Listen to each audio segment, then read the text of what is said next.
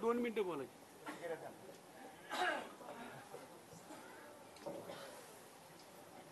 आज श्रीमंत छत्रपती शाहू महाराजची आज हे यांनी नुसता डोक्यावर हात फिरेला तरी हत्तीचं बळ येत आहे ते म्हणतायत आम्ही तुमच्यासोबत आहेत. मग तर आम्ही कोणाला घेतच नाही आरक्षण महाराष्ट्रातल्या मराठा समाजाला घेतल्याशिवाय माघार नाही महाराज साहेब. महाराष्ट्रातल्या गोरगरिबांना न्याय दिल्याशिवाय आम्ही थांबणार नाही.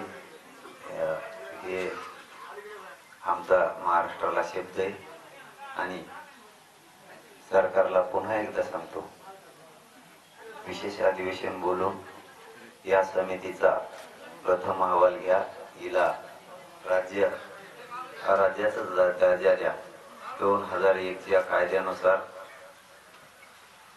त्या नियमाला अधीन राहून मराठा समाजाचा ओबीसी मध्ये समावेश करून महाराष्ट्रातल्या मराठा समाजाला कुणबी प्रमाणपत्र द्या.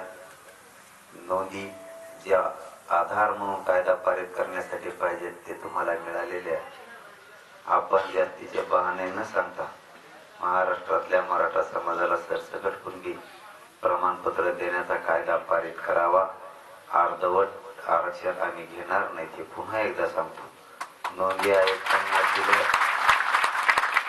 तर तुम्हीच तुमच्या हातानं अर्ध्या महाराष्ट्रातल्या मराठा समाजावर अन्याय करताय तुम्ही भेद निर्माण केलाय असा संदेश जाईल आमची पहिल्यापासूनची मागणी.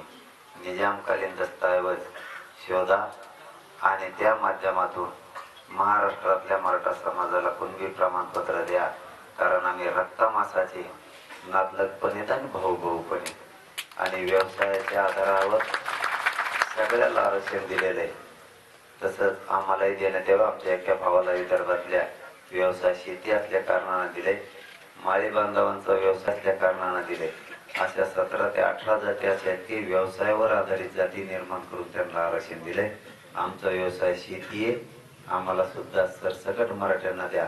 अर्धवट जर दिलं तर ते तुम्हाला जड जाईल. हे मात्र मी ठामपणे सांगतो. आणि आज आमच्या पाठीवर हात फिरवण्यासाठी महाराज साहेब आले त्यामुळे आमच्याकडे शब्द नाहीये. आता काय बोलावं? महाराज साहेब स्वतः येऊ. त्यांनी या आंदोलनाच्या पाठीशी उभा राहिले या जनतेच्या पाठीशी उभा राहिले. सरकारनं यातील गांभीर्य आता ओळखून घ्यावं. की महाराज साहेब सुद्धा जनतेसाठी पाठिंबा देण्यासाठी जनतेसाठी आणि जनतेवरचा अन्याय बंद होण्यासाठी बाहेर निघाले. याचा गांभीर्यानं अर्थ सरकारनं समजून घेऊन आरक्षण द्यावं. नसता आम्ही आरक्षण तुम्ही लवकर नाही दिलं तर आम्ही सुद्धा सज्ज आहेत. त्याची सरकारने काळजी करायची नाही. धन्यवाद छत्रपती शिवाजी महाराज की जय छत्रपती शिवाजी महाराज की जय मराठा छत्रपती शिवाजी महाराज तर आपण पाहतोय श्रीमंत शाहू छत्रपती यांनी मनोज जरांगे पाटील यांची भेट घेतलेली आहे थेट अंतरवाली सराटीमध्ये जाऊन. आणि पुन्हा एकदा मराठा तरुणांनी आत्महत्या करू नये असं आवाहन श्रीमंत शाहू छत्रपती यांनी सुद्धा केलेलं आहे. जरांगेंना दीर्घायुष्य लाभावं आपल्या आरोग्याची त्यांनी काळजी घ्यावी प्रकृतीची काळजी घ्यावी अशी ही विनंती केलेली आहे छत्रपती शाहू महाराज यांनी. आणि त्यानंतर मनोज जरांगे पाटील यांनी सुद्धा पुन्हा एकदा आपल्या मागणीवर ते ठाम आहेत. अर्धवट आरक्षण आम्ही घेणार नाही असं जरांगे पाटील म्हणतायत.